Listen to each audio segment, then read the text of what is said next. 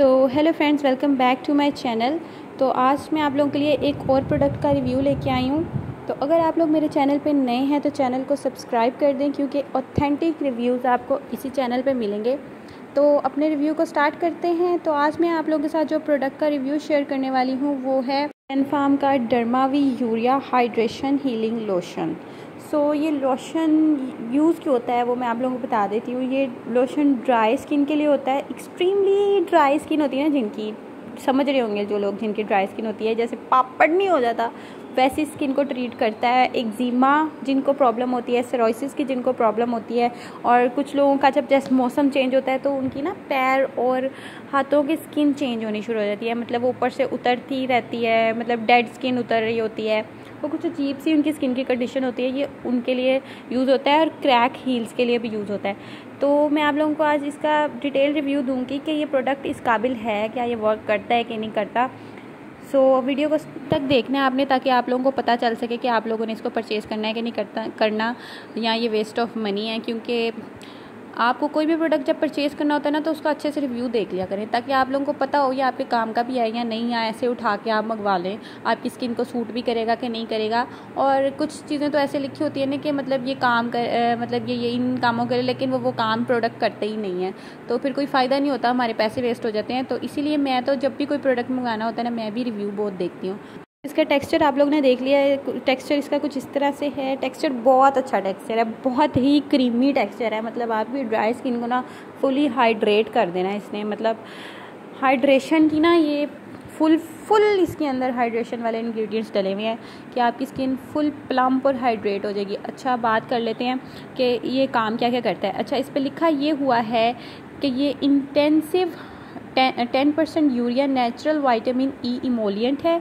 Intensive moisturising for cracked heel and all other dry itchy flaky skin condition hydrates and heal dry skin gently exfoliates rough skin अच्छा dry skin का ना एक ये issue होता है कि उनकी डेड स्किन ऊपर ना बनती जाती है, बनती जाती है। इस वजह से बहुत सारे मसले शुरू होते हैं स्किन के। तो आपने जब भी कोई ड्राई स्किन के लिए मॉइस्चराइज़र परचेज़ करना है तो आप लोगों ने देख लेना है कि एक तो ना वो होना ऐसा चाहिए कि उसमें फ्रेगरेंस नहीं होनी चाहिए। दूसरा कि वो आपकी स्किन को एक्सफोलिएट करता हो, यानी कि डेड स्किन को हल्का हल्का रिमूव करता हो। तो ये लोशन उस लिहाज से बहुत ही बेस्ट है, ना इसके अंदर फ्रेगरेंस है, ठीक है, और ये आपकी स्किन को एक्सफोलिएट भी करता है।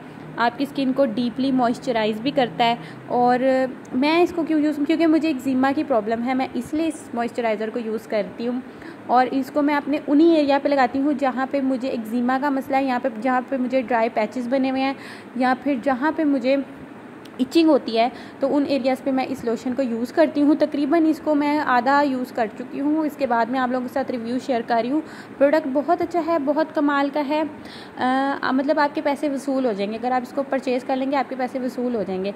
आपने इसको यूज़ कैसे करना है? आपने इसको नहाना आपने दिन में रोज़ है। कुछ लोग नहीं नहाते, इसलिए मैं कह रही हूँ, इसलिए रोज़ नहाना ज़रूरी है। उसके बाद आपने टू टाइम्स इसको अपने उन एरियाज़ पे जहाँ पे आपको सरोसिस का मसला है और एक्जिमा का मसला है, वहाँ पे आपने इसको इस्तेमाल कर लेना है। आप लोग नोटिस करेंगे कि आहिस्ता आहिस्ता आपकी स्किन ड्राइन की ड्राइनेस ख़त्म होनी शुरू हो जाएगी। थोड़ी सी आपको जलन भी हो सकती है, जिनको ज़्यादा स्किन की स्वेयर कंडीशन है, उनको नहीं होगी जिनकी सिर्फ़ ड्राई स्किन है। जिनको एक्जिमा या सरोसिस है, उनको हल्की हल्की जलन हो सकती है।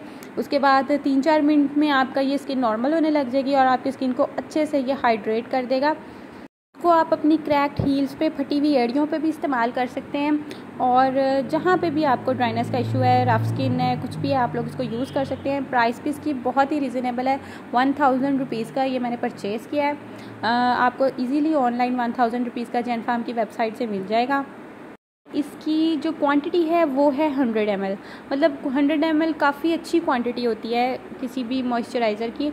और दूसरा ये कि जब आपने इसकी बॉटल एक दफ़ा सील होती है, इसके ऊपर लगी हुई वो आपने देख लेनी है, लगी है कि नहीं लगी तो सील होती है बॉटल जब वो आप एक दफ़ा ओपन कर लेंगे तो इसको सिक्स मंथ्स के अंदर यूज़ भी करना है। कुछ प्रोडक्ट्स होते हैं जो कि एक्सपायर हो जाते हैं, जो कि आपको उस पर लिखा हुआ होता है कि इतनी देर में आपने यूज़ करना है तो इतनी देर में आपने यूज़ कर लेना है। तो अगर आप लोगों को मेरा रिव्यू अच्छा लगा हो तो आपने मेरी वीडियो को लाइक कर देना है और चैनल को सब्सक्राइब कर देना है ताकि और बहुत सारे प्रोडक्ट्स के रिव्यूज़ में आप लोगों के साथ शेयर कर सकूँ। Thank you for watching